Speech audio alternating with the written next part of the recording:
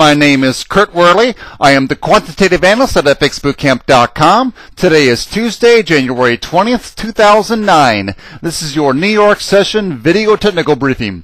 It's a video review of some of the things we covered in the live, in the live class today at fxbootcamp.com during the New York session. Let me first explain that the purpose of FX Bootcamp is education. This is not an alert service. The currency coaches do not make trade recommendations. However, we do conduct real-time technical and fundamental analysis to help you put together your trade plans throughout the day. We assume that our new bootcamp members are trading on a demo account, so that regardless of whether or not any particular trade plan is successful, they will certainly have an opportunity to learn and eventually trade their own live accounts for years to come, both profitably and independently. What you now see are hourly charts. These are hourly charts with daily pivot points for three of the, uh, the major currency pairs: the British pound, U.S. dollar here, the Euro USD here, and the USD Swiss franc on the right. Now, you do not need to be an expert in technical analysis to identify the which direction these markets have been moving since, uh, by the way, since London, yesterday's London Open. Down, down, and up in the direction dollar strength again since yesterday's London Open. Now I see that there are no major U.S. economic news events scheduled for release today during today's New York session, which tells me that this should be a mostly technical day. So the the, the previous trend is clear and no likely sources of new sentiment on the horizon. That leaves me with a bias towards buying the U.S. dollar. In the case of the USD Swiss franc here again on the right, or we call this the, the Swissy, that means buying the Swissy on a dip in price to a logical source of support. Now, starting at about 7 a.m. New York time during today's London lunch, we focused our attention on the Swissy because it offered what I thought was a good technical setup for that. Let me switch to the Swissy charts for a closer look now. Here they are, 15 minute chart, a Swissy chart on the left, 1 minute chart in the middle, and hourly chart on the right. As they looked at 7 a.m. Eastern Time, which is the beginning of an hour, it's the beginning of an hour when we often see volatility pick up as New York traders arrive in the market. Now, one word which defines what I like, what I like about this setup on a Swissy chart, overlap. I'm referring to an overlap or a convergence of key technical levels at one place and time. First of all, this blue, this up, upward sloping blue line in this chart, that's the 55 EMA or exponential moving average.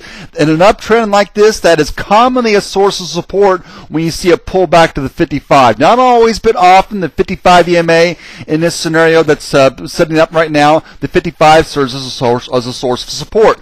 Next to the 55 EMA currently is the up is a lower Bollinger Band on the 15 minute chart. That Bollinger Band right in here that Bollinger Band has a very a relatively sharp upward angle on it. When price is dropping, as it has been over the past few hours since London Open, and the Bollinger Band is rising, usually, not again, not always, but typically the Bollinger Band will win that battle. In this case, serve as a source of support. So there's a couple of things that work here. I'm also looking back at the price action during the Asian session, and I see these swing highs in the 1380 area. One right there, and another one in here. If I extend that area forward in time, that 1380 area was resistance during the Asian session, could be could become support if we test it again. That is an example what we what we like to call role reversal. Previous resistance in this case becomes support. Another thing coming into play, and again, we're talking about a convergence here of key technical levels. Another key technical level coming into play at this point in time is a trend line, which I get by connecting these recent swing lows and extending that trend line forward in time. That comes into play near 13 area. In fact, if you were to back out a bit, which I have a separate chart set up for this, if you were to uh, zoom out and look at the price action from yesterday, what I'm showing here is a 15 minute chart without indicators for the uh, for the dollar Swissy. You see a trend line that came into play during yesterday's trading. First, it was resistance during the Asian set and London sessions, and since then it's been generally support. Again, supported on this trend line. Looking through uh, yesterday and early and trading early today as well. So overlaps like this make it more likely that the area in question will hold. In this case, more likely that the Swissy could find support in the 1380 area simply because more traders are likely to see that that area as important. So my bias is up. You generally want to buy on the dips in an, in an uptrend. The Swissy has been dipping, if you will, since the London Open, and it's approaching an area which should be support for multiple reasons. Switching over here now to the one minute chart for confirmation of a bounce in the uh, 1380 area. Looking here, you see some clear hesitation just above 1380. Clear hesitation in this area for several minutes. Now, if you're more aggressive, you lose the, the, cross of the 5 EMA, which is the maroon color line in this chart.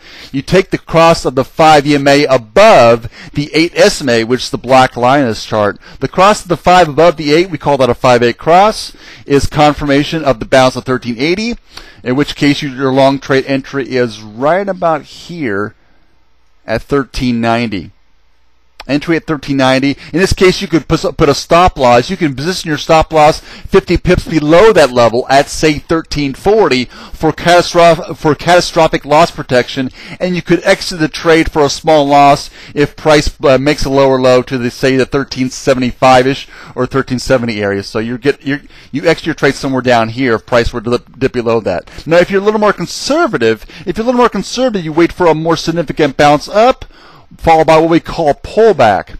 Here's the bounce up from 1380, and there's pullback. Now that pullback pauses at a Fibonacci level. If we draw a Fib study here, using the Fib tool in GFT,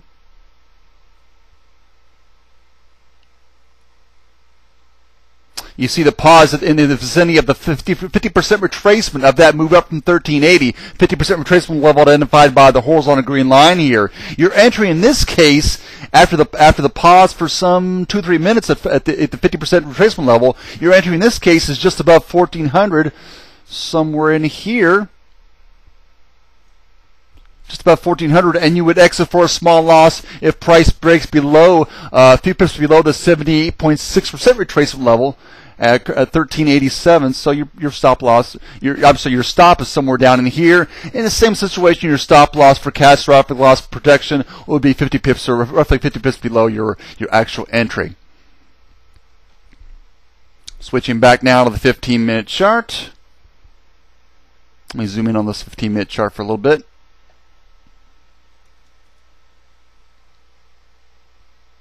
And moving forward in time, 15 minute increments. Okay, at this point, at the close of this candle here, at this point in time, you're up at least 30 pips in profit, uh, regardless of your entry. So you can move your stop loss to the break even point.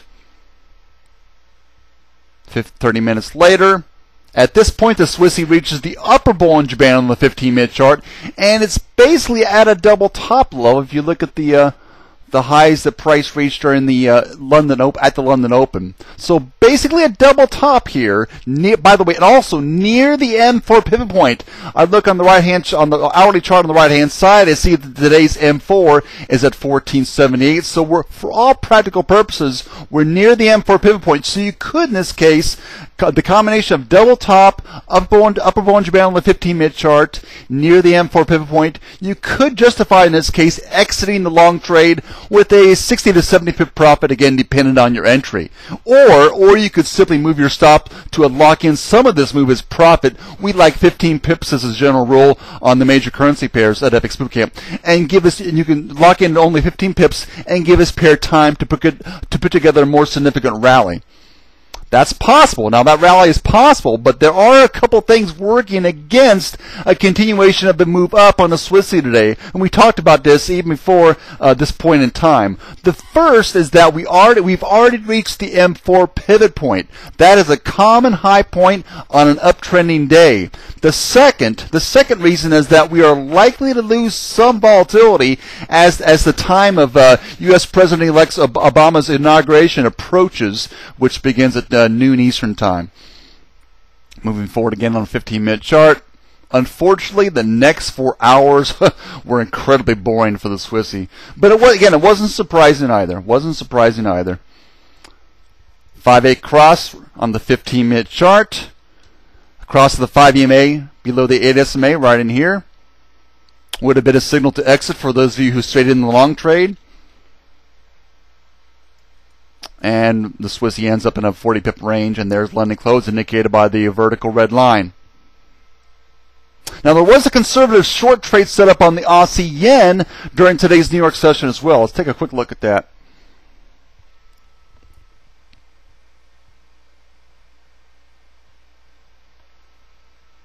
This is an hourly chart, an hourly chart for the Aussie yen.